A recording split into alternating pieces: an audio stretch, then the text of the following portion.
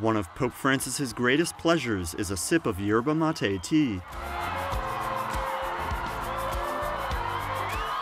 Eh, l'abbiamo visto in questo viaggio, l'abbiamo visto lungo questi due anni e mezzo. Qual è il suo segreto? Qual è la sua droga? Vorrebbe domandare lui. è quella la domanda. La droga. Ma il mate mi aiuta, eh? Ma non ho assaggiato la coca. Questo chiaro, eh?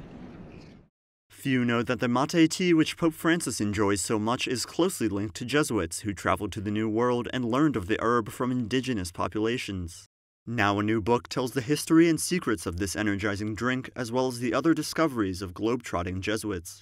It's titled Quinine, Mate, and Cures Naturalist Jesuits in the Colonial Era. It says that Pope Francis's favorite beverage was first consumed by an indigenous population known as the Guarani, and that the Jesuits adopted it as a medicine. It's about the history of science as well, because the Jesuits made fundamental contributions to the natural sciences.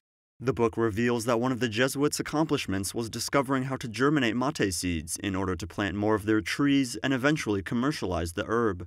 Its author, Ignacio Nunez de Castro, also details the many contributions to the natural sciences of some 20 Jesuits. Jesuit missionaries in the 17th century described mate as a substance that encourages work, pushes away sleep, and enlivens the senses.